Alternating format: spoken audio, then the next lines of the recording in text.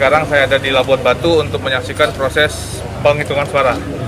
Jadi memang ada beberapa persoalan mengenai eh, temuan ya, yang ada dalam temuan dan laporan terkait dengan data pemilih.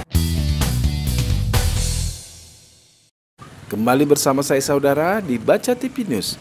Saudara, Kapolda Sudan Bawaslu Republik Indonesia pantau proses pemilihan suara ulang di 25 TPS di dua kabupaten di Labuan Batu. Didampingi Pangdam 1 Bukit Barisan, Kapolda Sumatera Utara dan Badan Pengawas Pemilu Republik Indonesia pantau dan monitoring proses pemilihan suara ulang di dua kabupaten di Labuan Batu.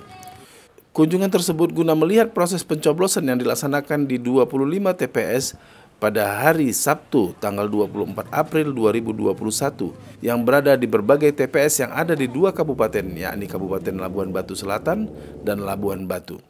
Mulai proses pencoblosan hingga penghitungan suara di TPS.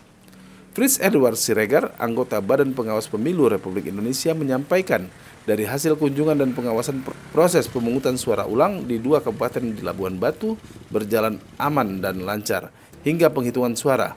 Ditambahkannya, namun saja di Labuan Batu Selatan adanya temuan dan laporan berupa data pemilih dan saat ini lagi diinvestigasi.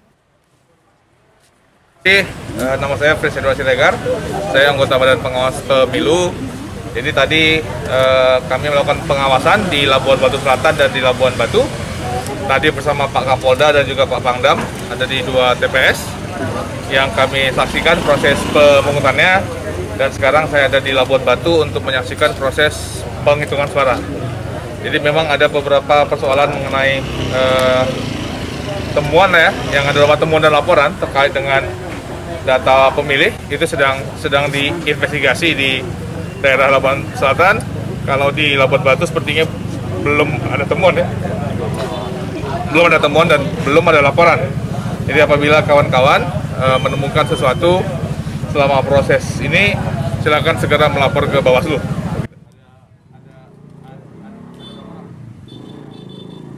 Dari hasil pantau Kapoldasu Irjen Pol Pancaputra, proses pemilihan suara ulang yang beliau kunjungi tersebut berjalan lancar, aman dan kondusif hingga penghitungan suara. Eh, dari hasil pemantauan saya dengan Bapak Pangdam, ya teman-teman sekalian baik di Labuan Batu Selatan maupun di Labuan Batu ini pelaksanaan PSU yang dimulai tadi pagi jam 7 sampai dengan saat ini semuanya berjalan dengan aman, lancar dan sampai dengan saat ini saya juga tidak mendapat laporan ada kejadian yang menonjol.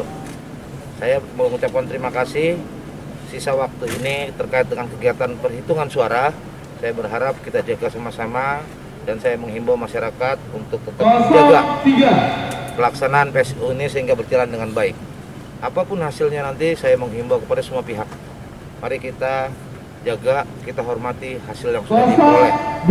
Tidak berbicara siapa menang dan siapa kalah, tetapi ini untuk kemajuan Labuan Batu dan Labuan Batu Selatan. Demikian update Baca TV News kali ini. Nantikan informasi terbaru lainnya hanya di channel YouTube Baca TV News. Terima kasih telah menonton. Jangan lupa like, subscribe, and share. Terima kasih.